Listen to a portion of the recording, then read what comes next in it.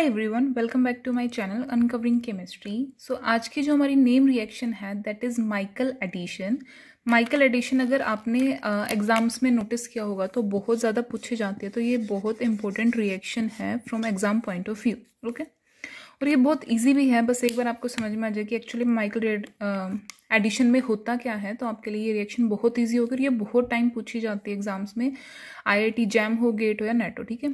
तो यहाँ पे बेसिकली माइकल एडिशन का काम क्या है? माइकल एडिशन कौन सी रिएक्शन होती है?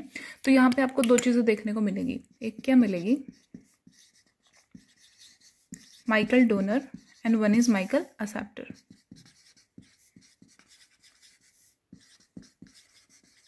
ठीक है?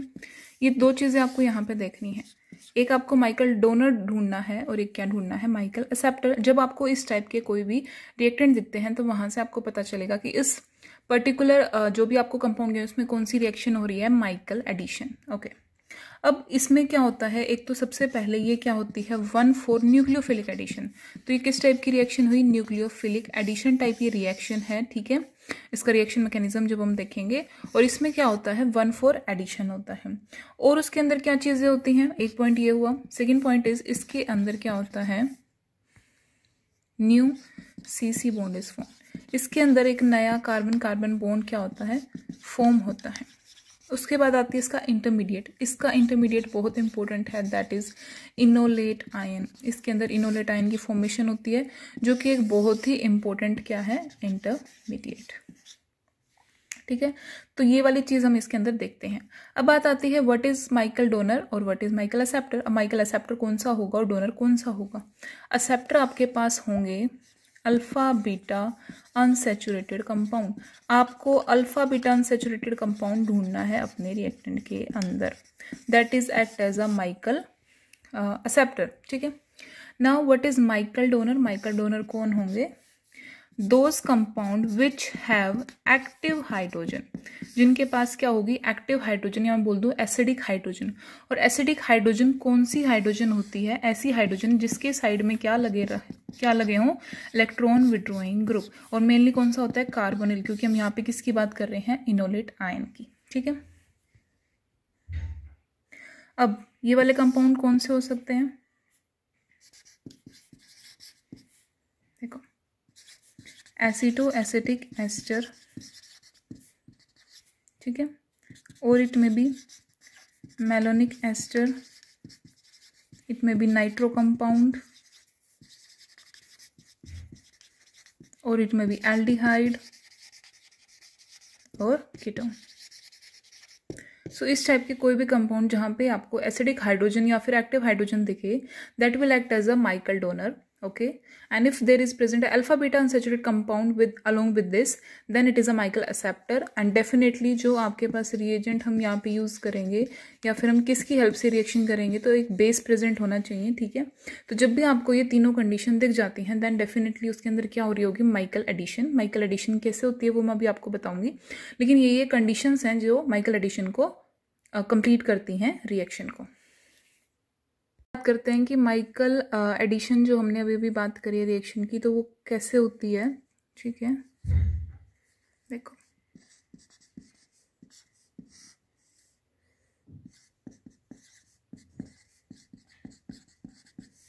ये आपके पास एक कंपाउंड गिवन है।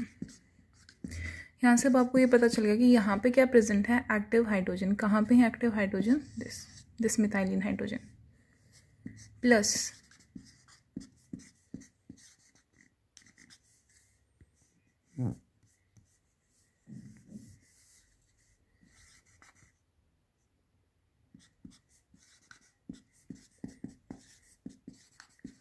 ठीक है? एक आपके पास ये वाला कंपाउंड गिवन है, यहाँ से देखो। This is carbonyl group this is alpha this is beta तो अल्फ़ा बीटा सेचुरेशन दिख गया एक्टिव हाइड्रोजन्स दिखे और इसके अंदर क्या ऐड कर रखा है? Base C two H five O N A और आपके पास क्या दिख गया? बेस तो डेफिनेटली ये कौन सी रिएक्शन हुई? माइकल एडिशन रिएक्शन अब करना क्या होगा इसके अंदर? कैसे इसके अंदर रिएक्शन हो रही होगी? या फाइनल प्रोडक्ट क्या बन रहा होगा? तो इसके अंदर फाइनल प्रोडक्ट क्या बनेगा? ये जो अनसेचुरेशन है अल्फ़ा बीटा ठीक है? ये अनसेचुरेशन ख़त्म हो जाएगी। और एक नया कार्बन कार्बन बॉन्ड बनेगा। देखना इसको ध्यान से, समझना। इनोलेट आयन कब बना, कैसे बना, वो सब आपको मैकेनिज्म में पता चल जाएगा। बट यहाँ पे देखो, एक नया कार्बन कार्बन बॉन्ड की फॉर्मेशन हुई है।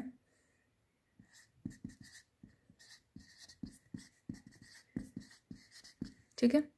ये क्या हो गया? नया कार्बन कार्बन बॉन्ड बना।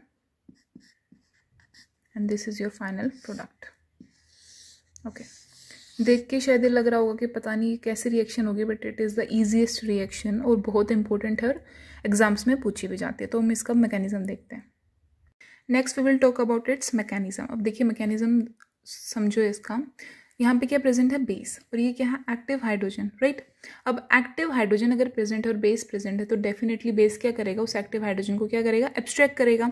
यहाँ से हाइड्रोजन एब्स्ट्रैक्ट होगा in the form of H positive तो वो क्या करेगा जाते जाते कार्बन के ऊपर कौन सा चार्ज छोड़ देगा? Negative charge and why this negative charge और इंटरमीडिएट इज़ फॉर्म तो ड्राइविंग फोर्स क्या हुआ इसका? कि जो यहाँ पे दो इलेक्ट्रॉन विड्रोइंग ग्रुप लगे हुए हैं, आपको पता है negative charge is stabilize by the electron withdrawing group और उसके बाद यहाँ पे क्या है? दो ग्रुप्स हैं ऑब्वियसली तो यहाँ पे ज़्यादा रेजोनेंस स्टेबलाइजेशन होगी।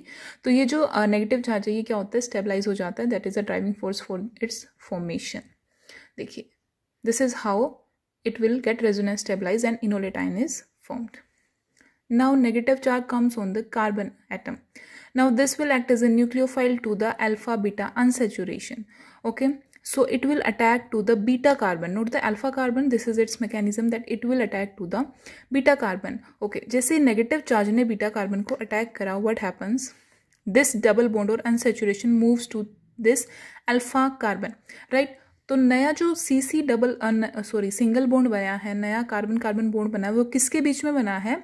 जिस कार्बन के पास आप इस तरह से याद रख लो इसको कि जो नया कार्बन कार्बन बॉन्ड बनेगा, आपके फाइनल प्रोडक्ट में वो किसके बीच में बनेगा? बीटा कार्बन में और उस कार्बन में जिसके पास क्या थे? एक्टिव हाइड्रोजन ठीक है? इनके बीच में क्या बना? एक नया कार्बन कार्बन बॉन्ड और जो यहाँ पे नेगेटिव चार्ज आया था एच पॉजिटिव डाल के, यहाँ पे हमने क्या ऐड कर दिया H and this is your final product so ये बहुत ही सिंपल सा है that is Michael addition and बहुत ज़्यादा इंपॉर्टेंट है। रिएक्शंस में पूछा जाता है। इसके बाद हम इसके कुछ एग्ज़ाम्पल डिस्कस करते हैं, ताकि आपको प्रोडक्ट बनाने आ जाए। ओके okay, तो सबसे पहले हम देखेंगे ये फ़र्स्ट एग्जांपल अभी आपको देखने से ही पता चल गया होगा कि इसमें होने क्या वाला है। सबसे पहले the base is present and this condition T H F and minus seventy eight degree Celsius इससे क्या होगा कि अगर आपके पास अनसेमेट्रिकली कंपाउंड प्रेजेंट है और आपको नहीं पता कौन सा हाइड्रोजन निकालना है तो ये आपको क्या बताएगा that the less hindered side hydrogen will be eliminated less hindered side से मतलब कैनेटिक कंट्रोल आपकी जो रिएक्शन है वो फेवर्ड होगी। This is the condition and if not possible अगर आपको ऐसा कुछ है ही नहीं सिमेट्रिकली अनसिमेट्रिकल वाला, तब तो आप सिंपली अपनी रिएक्शन कर सकते हैं। लेकिन जब ये कंडीशन प्रेजेंट होगी, तब आपको ध्यान रखना है कि आपको लेस हिंडर्ड साइड से हमेशा हाइड्रोजन रिमूव करना है और उस टाइम वो इनोलेटाइन फॉर्मेशन होगी। ओके चलिए मैं आपको एक एग्ज़ाम्पल भी दे देती हूँ। ठीक है?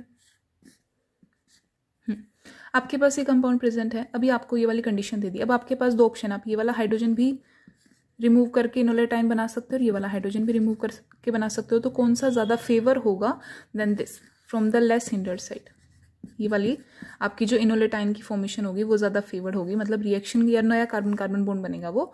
इस वाली साइड से फॉर्म होगा, ठीक है? यहाँ पे ऐसी कोई कंडीशन है नहीं तो यहाँ पे ये वाली चीज़ फॉलो नहीं होगी ओके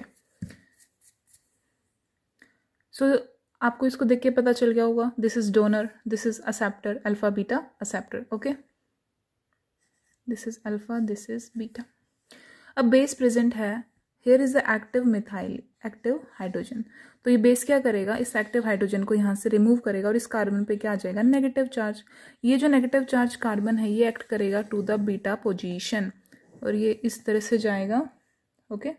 इस तरह से जाएगा तो यहाँ पे हाइड्रोजन तो आपके कंपाउंड क्या बनेगा? फाइनल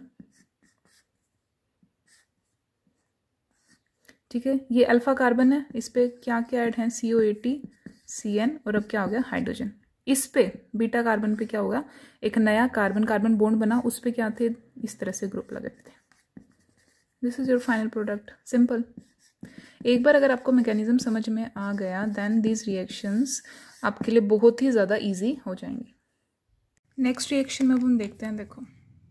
आपको यहाँ पे जो इंटरमीडिएट है वो ऑलरेडी बना के दे दिया हुआ है। हो सकता है ये वाली चीज़ तक आपको पहले पहुँचना भी पड़े। तो एक स्टेप यहाँ पे ऑलरेडी कंप्लीटेड है। तो ये स्टेप हो सकता है क्वेश्चंस के अंदर आपको इस तरह से आना भी पड़ जाए। इनोले टाइम बना के this is T M S ठीक है? ये चीज़ आप कर सकते हो। ओके अब आपके पास यहाँ पे एक चीज़ गिवन है। यहाँ पे आपको अल्फ़ा बीटा सेचुरेशन दिख रहा होगा।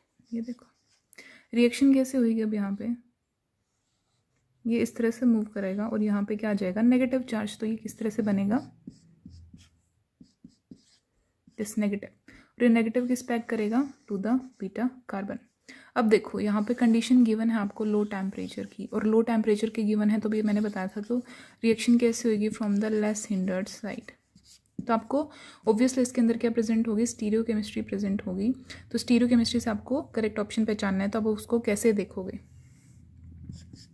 सबसे पहले हम प्रोडक्ट की बात करते हैं। ये इस तरह से बन चुका है। ये कार्बन कार्बन बोन बन रहा है इधर। तो इधर आएगा दिस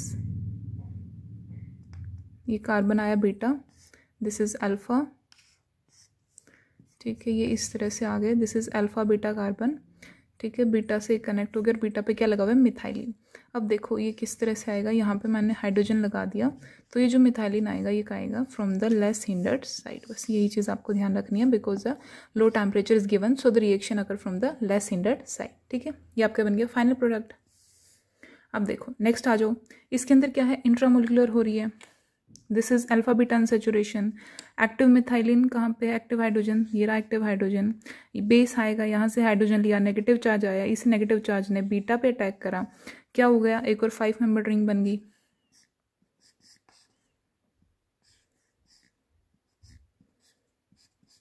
ठीक है? ये क्या बन गई? एक और five member ring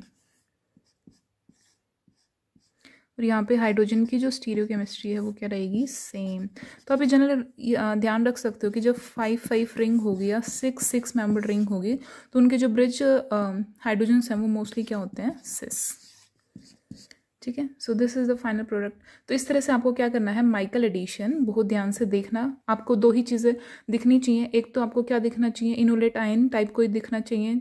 Which is act as a nucleophile ध्यान से देखना इसको एक एक्सेप्टर होगा अल्फ़ा बीटा सेचुरेशन उसको देखते ही बेस प्रेजेंट होगा तो आपको देखते ही क्या करना है वहाँ पे माइकल एडिशन बहुत इंपॉर्टेंट रिएक्शन है। टेम्परेचर का पर्टिकुलरली आप ध्यान रखोगे स्टीरियो केमिस्ट्री चेक करते टाइम सो so, ये है आपकी Michael addition with few examples I hope कि आपको ये रिएक्शन क्लियर होगी होगी। नेक्स्ट रिएक्शन हम नेक्स्ट वीडियो में पढ़ेंगे। तब तक के लिए टेक है thank you so much and a great day